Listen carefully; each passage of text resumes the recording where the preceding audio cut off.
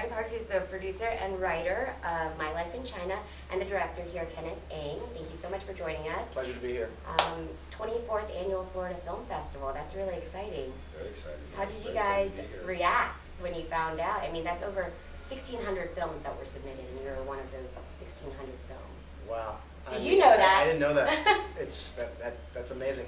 I it's I'm kind of speechless, but I mean, we've been working on this for so long, six years, and to, to get a phone call from Matthew Curtis, the programmer at the Florida Film Festival, I was on a freelance shoot. I, I literally stepped aside and I was silently screaming. And I, I told him, I I made a promise to Matthew Curtis that I would kiss him when I saw him in person, and it was, it's a wonderful feeling to work on something you believe in for so long, and finally have a chance to share it with the world, and that because you know people, it'll maybe perhaps resonate with that, people can relate, and hopefully people get out something out of it, and it's just an honor to be here. Oh, and how was your, what was your feeling? What was your reaction? It was when- great. It's always great to you know work on something that you know is good, and then have you know an, another group of, of people validate that, and you just bring it out here. And you know one of the big things about being you know a writer is you you spend so much time writing and writing and writing, and that never sees the light of day. So to work on a film like this, and to you know just I mean, we had a couple hundred people there. There's gonna be a couple hundred more people the next showing. So it's just great, Wow. and just to see that you know the, the greatest thing for this process has been to see how uh, you know, how relevant Ken's story is to so many people um, in the community, and so just the shared um, story that people have, it just, it's just great for, to be And part it of it. resonates with me definitely, being a first generation as well, um, Asian American. Can you tell us a little bit about your childhood and where you grew up? Yeah, uh, I grew up in Boston. Uh, it's it's pretty old school city, and a lot of Asians, a lot of different uh, minority groups. They're all trying to coexist, and being going to a public school, you know, it's tough. You know, you're trying to get along with everybody, and you you- you're trying to be like everyone else. But then, you know, I realized I sort of lost some of my own distinctness, my own Chineseness, my identity, and my whole life I was kind of embarrassed about who I was, and I, I mean I grew up in the projects of Boston, and Mhm. I was so ashamed because my mom had a you know she uh, went through menopause and had dementia, paranoid schizophrenia while I was still in high school. So how did you get into film then, I guess? Is that, was that a passion of yours throughout high school or?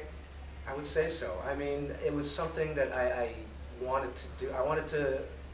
I wasn't the most popular kid in high school, so I wanted to be something different or have something that I could, you know, uh, identify myself with. So uh, it was early on that I took art AP, music AP classes. I took photography classes during high school, Art Institute of Boston.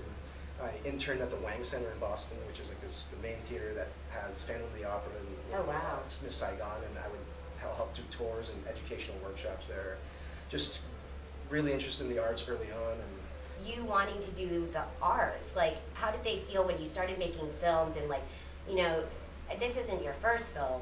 no, I mean, What are your, what were your projects before? Like, you've done a couple different projects, right? yeah, I mean, I was uh, the, the kind of kid that would never listen to his parents and would rebel against I think there's a lot of kids like that. yeah, you know, and like maybe it was because of stereotype of being Asian American. Maybe I was rebelling against that. You got to be really smart and this and that. And I, maybe that was what I was rebelling So against. you're maybe trying to uh, not conform to your Asian American identity, like just like you're trying to find your own path.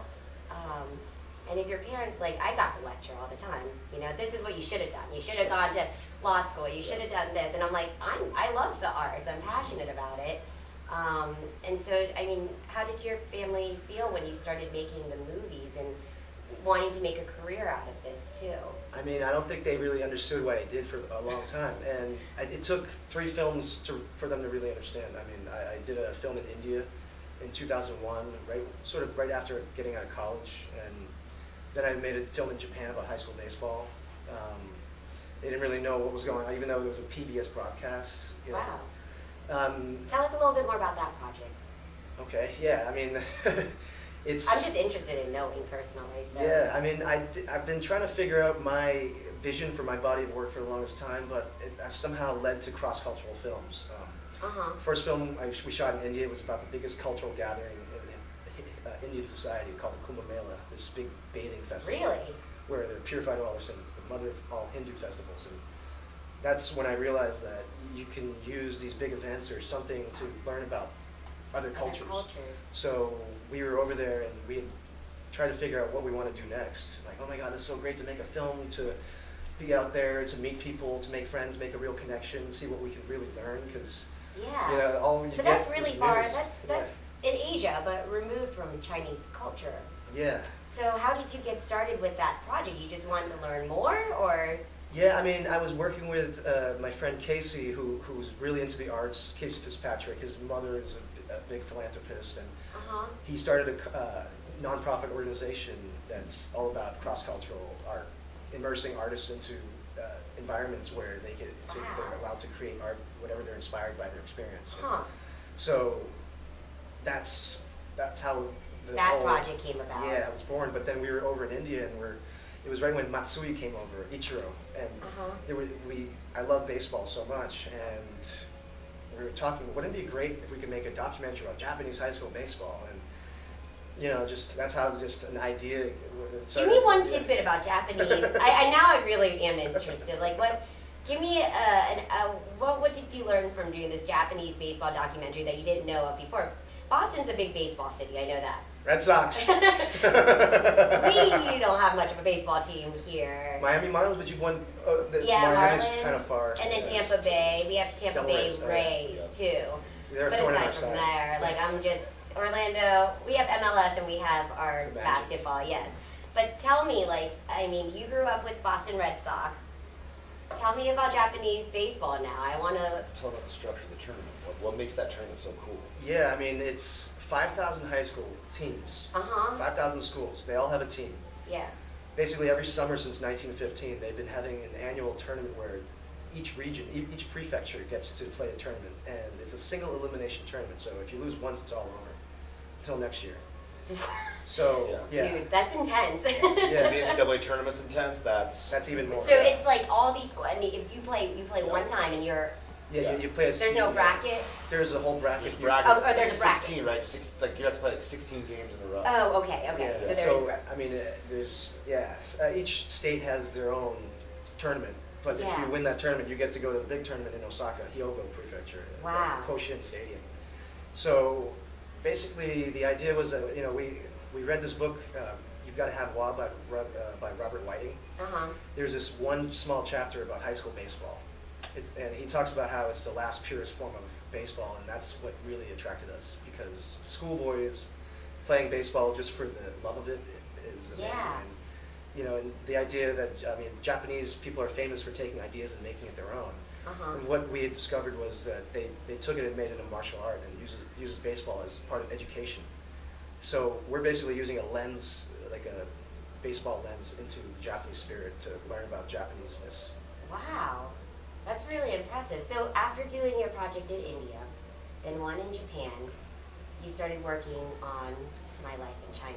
Yeah, uh, I was writing the success of being on PBS. We were part of POV's uh, this documentary showcase on PBS, uh, the 19th season, Wow. and we were really fortunate enough to have our film up there. We weren't even considering film festivals. We were just we just went for POV because we knew we didn't have, we didn't really want to have any other options. So So I, I, I rode the success of that, and I I applied for a uh, Guggenheim Fellowship. Someone Uh-huh. I met along the journey of the baseball film said, "You should really, you know, you made a great film. You should really get a try to write a proposal for a Guggenheim Fellowship because you can make a film about whatever you want." And I'm, oh wow. Uh huh. So I decided to write the proposal for this because most of my life I, I've been, you know, I, I do a lot of film freelance stuff too. So hmm I noticed that in my work I was visiting all these different communities except my own community. My Yeah, it's personal. yeah, but and I noticed I'm in India, Czech Republic. I go to uh, Japan. And where's the Chinese people? Where are my people? Well, everywhere actually, but I Yeah, mean, yeah, but I mean, I- yeah, they're you not in didn't have. They're frame. not in the. They're not in focus Right. of your film. They're not the subject of your film. So then, this Yeah. is an opportunity that you took on Yeah. the Guggenheim. I, it was a chance to make a film that you know I wasn't considering anyone any money making ideal any you know uh, Yeah. thing or no one telling me how to create anything. No studios telling me you, you have to do this so that you can be sold. So it's a completely independent film. It's a labor of love. This is as independent as it gets. And how did you come up with the concept? With the grant, I guess, yeah. Yeah, with the, let's- well, yeah, with let's- the yeah, grant. let's- Well, you had to come up with the concept and the idea Mhm. too to receive the grant. And that probably beat out a lot of other concepts and ideas as well. So how did you come up with the concept? I, I wanted to sort of tie my father's story in, but I mean, I, I was thinking about modern day China and how it's very different from when my father was living there, because he obviously had to leave for desperate reasons. But I wanted to show different Chinese people moving for different reasons. Um, And your father was part of that story that you were going to weave yeah, it with the other stories. It was originally called Portraits of Modern Day China. Wow. I sort of knew that I, I had I had all the access in the world with my father, so I knew that if we went over there and shot the bulk of my father's story, and went to find these other three stories, that if those three stories didn't work out, I could always fall back on my father's story. Yeah. So, but I really wanted to show the, the difference, the diaspora, different uh, reasons for migrating. So we went to uh, Tibet and we, Wow. we found a Chinese girl, a young like 17 year old Chinese girl that uh, brought Chinese massage. She's a masseuse. Uh-huh. So essentially she's bringing Chinese culture to Tibet and she's, Wow. she's looking for a Tibetan boyfriend. She finds Tibetan men attractive. This Okay. romance of it. So here you have a She's girl. young. Yeah, a young migration. She's Very young. it's not like China's taking Tibetan uh, Yeah. culture. They're bringing this girl's bringing her own To culture to Tibet, searching for love, you know. And, and we were so lucky to find that. That was Yeah. one small story. We shot like enough to make a three-minute piece. Uh-huh. And then we went to Chengdu to uh, and eventually got to the Three Gorge Dam area, where you know it's the biggest hydroelectric dam project in the world. It's a city within its own. Yeah, it's, it's amazing what they've done, but they, they had to relocate all these people, families, to take the land from them. So like a government land grab. So then basically they relocated these people to this place called Chongming Island, Mm-hmm. where it's, it's this place, this uh, plantation, or then it just, it's a, it's a working city, Yeah. self-sustaining place. So that was a kind of different kind of migration. Uh-huh.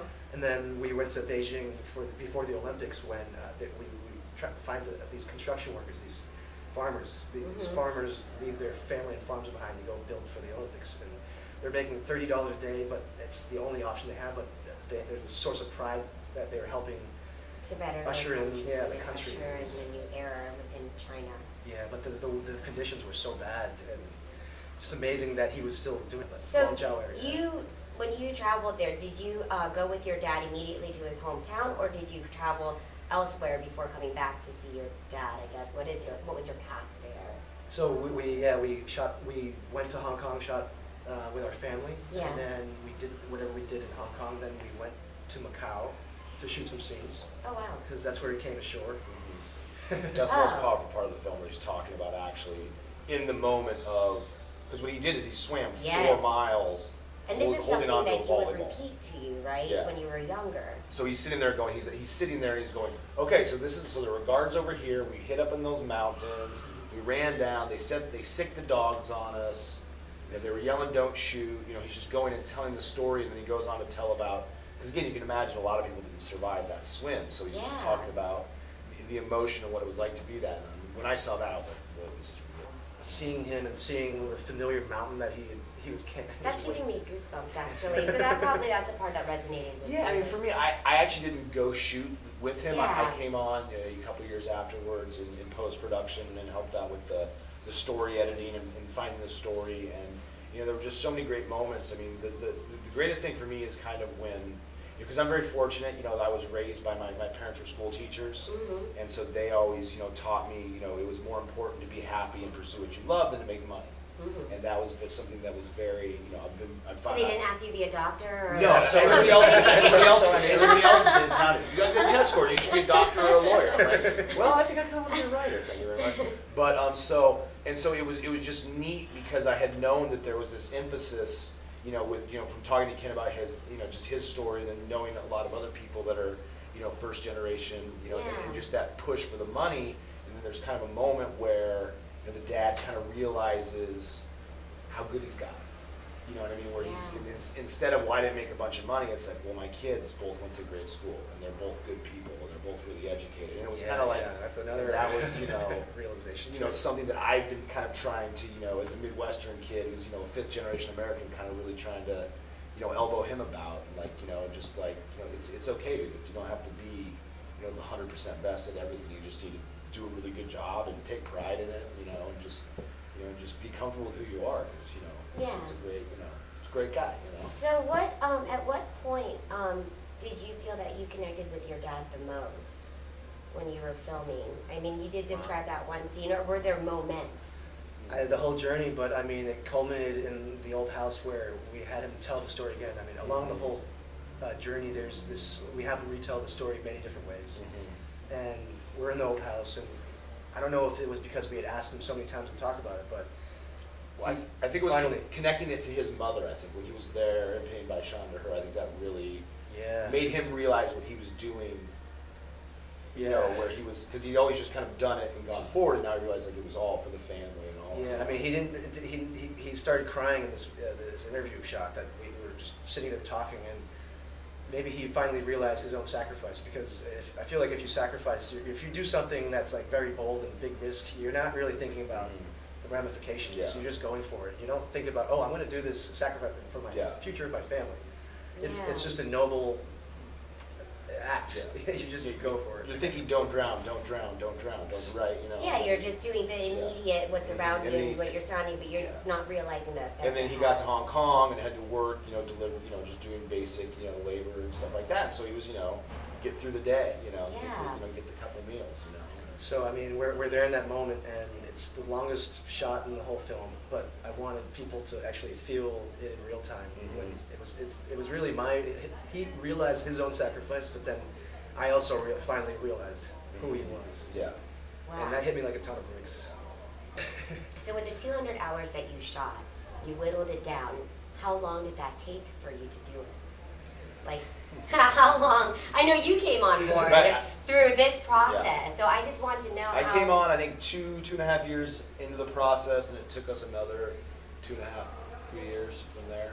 I mean, obviously, we were both working on other projects, but again, it was one of those, you know, we'd go away and think about it, and then, you know, we worked on other projects, you'd have ideas, like, well, what if we tried this, or what if we tried that? I mean, actually, narratively, this story was a really good, uh, a good fit, because it's always, where do you begin, where do you end, you know, with, with, especially with an open-ended documentary, but this, we had the, the, the, it was nice that, you know, he gets on a plane from New York, flies over there, and then he comes Yeah. back. So we had a nice, it was a nice kind of natural beginning and end, but it was, then it was the question of in the middle, how do we, you know, get across the, the, the story elements and, and the Mhm. emotional elements and things like that. So all altogether, four and a half.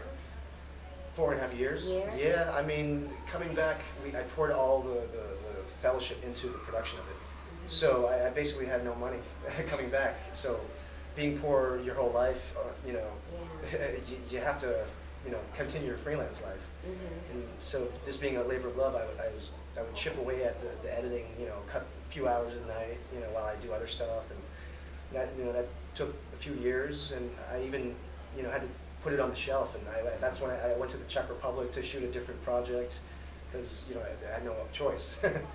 I, I moved from New York, you know, went through the whole economic downfall, you know, Yeah. didn't work for nine months, ended up moving to Los Angeles and uh, changing my life and still trying to uh, chip away at it, you know. Yeah.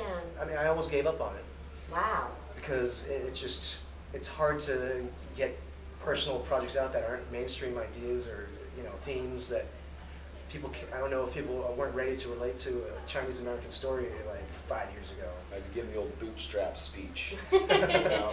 just gotta do it. you And, gotta do it, yeah. and Yeah, the first, the first cut he asked me to look at was like four and a half hours long. Wow. So, So that, so, thank you. Oh, my I mean, the. I'm sure the four and a half, Yeah. I, I, just two, the two hundred hours is probably all phenomenal footage, too. Yeah, I mean, we had an 85 minute cut, which we tried to make a film without any kind of voiceover or any kind of text or anything. That, Mhm. and the, the result was a film that really didn't have much information, so yeah, people, the viewer had to work. But then we, we decided to go the whole other way and just put voiceover, my, my personal voice, describing, you know, narrating the whole story as the film is going along. And that that was didn't work at all. it was too overt, and it just it was bad. It was stepping on the emotion. Like the big thing we did is we, we, we took out the voiceover because instead of we realized a lot of the voiceover was telling us things that weren't inherent, right? It's like Mhm. now we go to Hong Kong. Well, you get on a plane and you show up and you're in Hong Kong, duh. Yeah. But then also too, in, instead of having Ken talk about how he felt felt in the moment, leaving that open because the filmmaker's first priority is to make the audience feel something, Mhm. whether good, bad, or ugly, or in between. And um, you know, and so instead of you know, instead of him telling us how he feels, it, it's, it, it opens it up for the, the viewer's personal experience. You know, or even myself, you know, I, you know, thinking about my relationship with my father, or you know, the, my family that immigrated, or you know, especially for you know folks like yourself that you know are very First connected to this story Um, wanting to preserve our culture. and have a, a, a stern Chinese father, you know, who, who busted your chops the whole time. So I think that And understanding where that comes from Yeah. as well. So then the voiceover didn't work, so then we ripped everything out and we shortened it to 53. We thought the TV was the, the TV time, like an hour Yeah. program would be the best outlet. So we, we started using, I started working with a composer, Josh Geisler. He's, he writes for uh, Cirque, du Soleil, uh, Cirque du Soleil. Oh, wow. And Okay. we decided to put music where voiceover was. So in, as- in essence, the music is the voiceover. That's, and that's how we found our narrative voice. And, and it's framed, the film is framed, you know, you go into the film knowing that it's a father-son story, so I wanted that to be apparent. You know, so there's, a, you know, in the beginning, he's basically talking to me, who's the son, but it's also a filmmaker with his Mhm. subject, object, you know, so that I wanted to frame it that way so t- to drop the viewer in so that once you get to the house, you're with me, the- you're with me along the journey, along the way, and it hits, it hits the viewer like it hits me when I realize the sacrifice. And That's, Mhm. that's really the narrative style of the film, the point of view. Yeah. We just got an working on email the other day. Oh, uh, yeah. um, Yeah. Can you talk about it? Yeah, it- yeah. I mean, uh, to, to continue the what we're hopefully we're we're nominated for uh, for the best documentary feature at the Milano International Film Festival in Milan. That's pretty cool. And That's then, really, Put on by really the cool. Leonardo da Vinci Society. So, you know, we'll then- take that, you know. And then we have uh, Boston Asian American Film Festival that uh, hopefully we. Hometown. Yeah, it's going to be a great homecoming and and yeah, but we're we're also going to hit up a few other festivals and see if we, we get. What advice would you give to a young Asian American filmmaker? I mean, chase your dream. I mean, if, if it's something you really care about and want to do, I mean, don't let anybody tell you you shouldn't do it. Uh, it's it's just do what you want. Be who you want to be. Absolutely. find find your calling and just go for it. What makes you happy? That's, So don't. yeah, and I mean, it, this is something I wanted to do before I moved on. I mean, I just didn't want to work on another project where I was observing people that I wasn't part of. Yeah. So yeah, I mean, uh, the next project uh, we're trying to launch is a film about this radio disc jockey that's 90 years old. He's he, he's been spinning the oldies music for so long, and he- Since they were newies. Yeah, Doing oldies. Since Yeah, they're newies. that's true. Where's this based out of? This is uh, sort of Southwest uh, America, California, Palm Okay. Springs, Bakersfield area. He's like 90 years old. He's, he has a five-hour radio show every night, and he, he keeps the oldies alive. And all the oldies bands love him so How much. did you find out about him? Oh, on the radio. Oh, Yeah. he's just known. I'd be in the my coming home from freelance work, uh, sitting in traffic, turn on the radio, and he just provided me a, an appreciation for oldies music, singing along to Wow. doo wop, Rosie and the Originals. Yeah. Yeah. Well, we're excited for your upcoming project then. So what's the what's the documentary you're working on then, Um, or you're editing? Yeah, as, as we were getting this film out, I had the opportunity to uh, edit a different film. My, my friend Curtis Chin, who uh, we, we found through UCLA, um, he's he, he's been shooting this film about the middle school test in New York City. It's the SHSAT. It's a big controversy, and there there there this NAACP complaint that uh, the test is unfair. I mean, it's this one single test that all kids take in New York City Really? middle school, uh, school kids, students uh, that take this test to go to these prestigious public schools. And they're are saying that the, it's actually unfair, unfair because there there are people doing test prep. There there's.